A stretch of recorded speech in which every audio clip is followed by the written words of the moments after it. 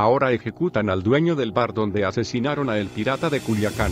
Aún no se puede confirmar si el móvil del crimen de Juan Luis Lagunas Rosales, el pirata de Culiacán, está relacionado con el video que la víctima publicó hace poco más de un mes, donde insulta y reta a Nemesio Ceguera Cervantes, el Mencho, líder del cártel Jalisco Nueva Generación, CJNG, así lo señaló el fiscal general Raúl Sánchez Jiménez, e informó que el dueño del bar donde fue acribillado Lagunas falleció esta madrugada en un hospital privado.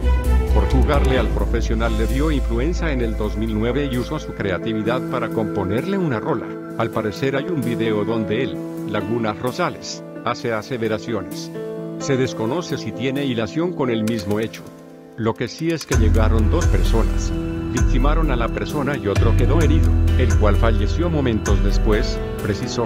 De acuerdo con el fiscal, en los videos el pirata de Culiacán se mostraba agresivo y se podría decir que en ocasiones se menciona que era hasta acompañante hora, sí, sí dando souso haciendo la farándula o el ambiente en una fiesta.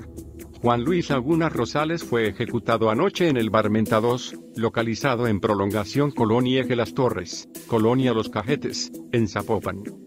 A ese lugar arribaron cuatro hombres con armas largas, se dirigieron a la mesa donde se encontraba el pirata de Culiacán y le dispararon en repetidas ocasiones. La víctima recibió al menos 15 impactos de bala. De acuerdo con testigos, los agresores escaparon en una camioneta negra. El pasado 15 de noviembre, el establecimiento señalado compartió un video en su página de Facebook donde Lagunas Rosales hacía una invitación para acudir al bar. Ese mismo día, el pirata de Culiacán grabó otro video donde comentaba, lo que me pongan, punto. A mí, el mencho me pela la verga. El clip circuló en redes sociales. El Instituto Jalisciense de Ciencias Forenses confirmó que hasta el momento nadie se ha acercado para reclamar el cadáver del pirata. Más información en el blog del narco.com.